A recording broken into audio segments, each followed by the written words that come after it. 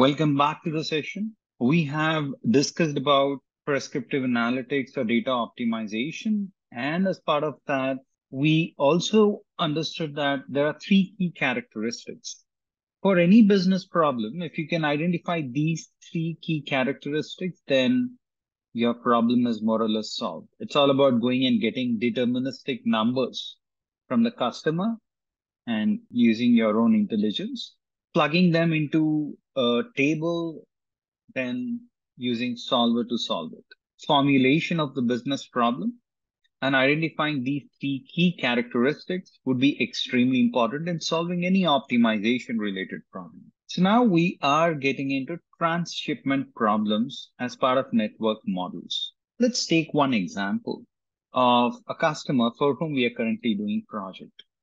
This specific customer manufactures sand, okay? And uh, they manufacture sand in a specific location and they want to say export the sand to various locations within the city called Hyderabad in India.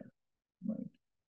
All the sand are transported to two key locations and uh, they're actually transported to these two locations to Girmapur 1 and Deshmukhi 2. These are the two locations. It is very Indianized solution that we are looking at, a problem that we are looking at rather. Yeah. All right. So these are the two locations where the entire sand is, you know, transported to. From here, either by road, of course, by road majorly, yeah, it has to be distributed to the other locations, which is Girmapur 2, Sulakpally, Kisara, Lagdaram, and Deshmukhi, right? So these five locations, the sands, uh, the, the sand that is manufactured has to be transported. Tons of sand, you can measure it in that. Currently, say you have say we have 200 tons of sand available in Girmapur and we have 300 tons of sand which is available in Deshmukhi. So overall you have 500 tons of sand. Okay. Since this is a supply, you can represent using a negative sign. That is absolutely fine. This is just a notation for that case. And you have five other locations where you need to transport the sand. Say you're transporting the sand to Girmapur 2 and the demand is 100. Here the demand is 60. Here the demand is 80. Here the demand is 170. And for this location, the demand is say 70. And along these arrows, these arrows determine the direction in which you can transport the sand from here to here and the cost of transporting per unit is 50 rupees. So one ton of sand to transport one kilometer would cost you say 50 rupees. In that way, Indian rupees, you have the values. And here, if you see, you can transport to Lagdaram. From there, you can take it to Kisara and back. From Kisara to Deshmukhi and then back, right? And you also have the cost associated. All these details are also populated in the table. From which location to which location can you transport, so on and so forth. I'll, put zeros throughout. These are all variables here, meaning it, it can vary. Okay, here we have supply nodes. What are the supply nodes? Let me go here. We have two supply nodes. These two are called as what? Supply nodes. And then we also have demand nodes. Demand nodes are the places which receive, you know, items. And then you also have transshipment nodes. Transshipment nodes are those nodes which can both send and receive from the other nodes. If you look at this node, Ethera, if you look at Lagdaram, if you look at Deshmukh, uh, Deshmukhi, you know, you can both send to different locations and also receive. Here also, uh, but here, you know, this is different. Here you are uh, receiving primarily. Yeah. So yeah, we also have uh, Girmapur where you're receiving and also you're sending. So those nodes where you both send and receive, okay, are called as transshipment nodes. Let me transshipment nodes, meaning you can store certain tons of sand in these locations and transport a few other. So I'll choose a different color. This one. Okay. Then this one, three. then five. Then six. These are transshipment nodes. They can receive and also they can send. Two, three, five, and six. Okay, and when it comes to supply nodes, you have one and seven. And that node, which only receives, it cannot send, is called as a demand node, which happens to be this one, which is the demand node. So in this way, first you need to figure out which of these are supply nodes, which of these are demand nodes, and which of these are transshipment nodes. And these arcs that you see, the arrows, represent the decision variables. And we need to determine the optimal flow for each arc. Meaning, what is the optimal, uh, you know, goods that you would transport? I think the side end here, sorry, 30 rupees per unit cost. Okay, so this is the data that we have, and this data we have populated in the tabular format here. those are all not rupees, uh, just ignore, those are all Indian rupees. So I can probably format the cell and just make it a number, or, or let me make it, yeah, rupee here. Here also it has to be rupee. Things are changing.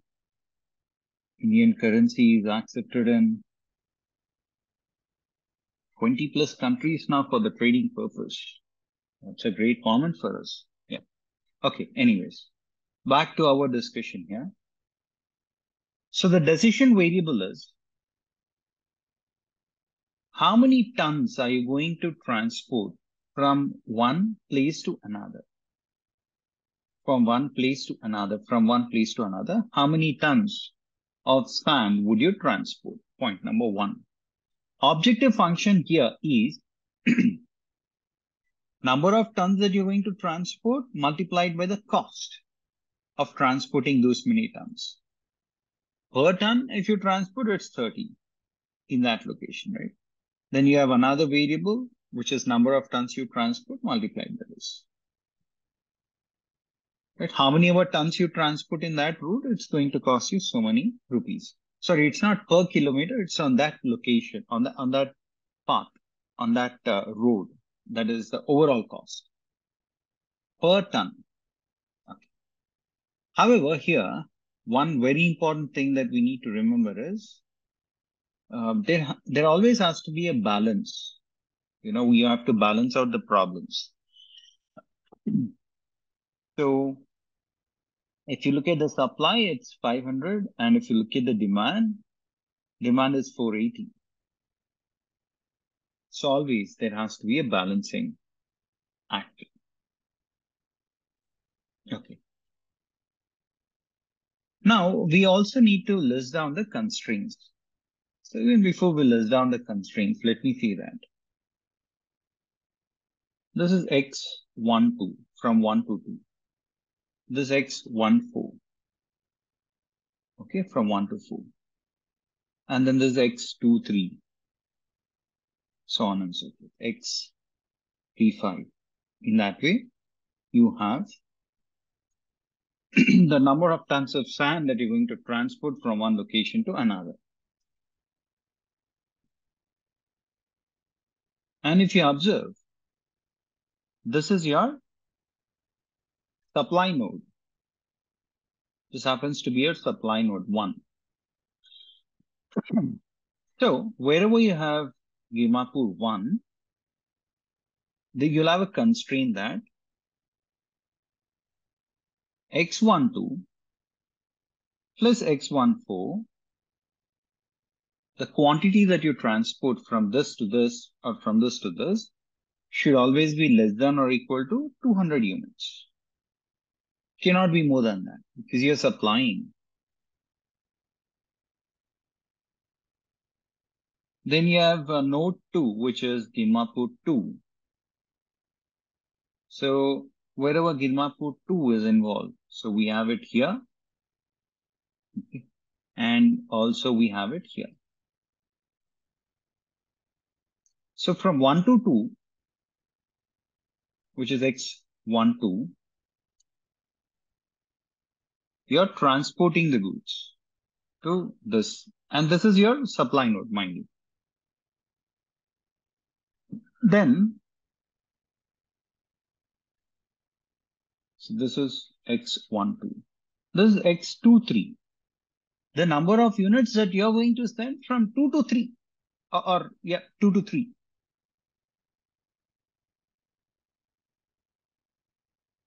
So since you're sending it out, you put a negative sign.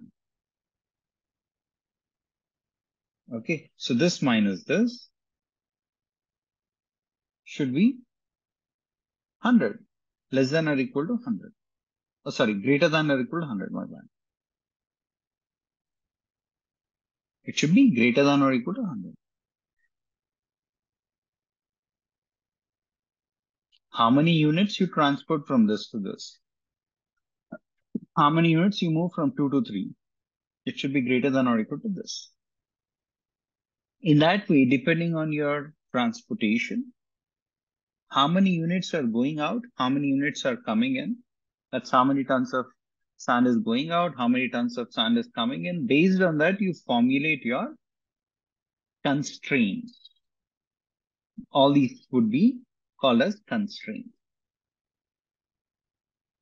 Once you formulate these, it's a, it's, it's a very, very easy problem, isn't it? You just need to now, you know, trigger the solver and uh, just solve it. Simple. So, what are we waiting for? Let's just issue the solver and uh, solve this particular business problem that we have. All right.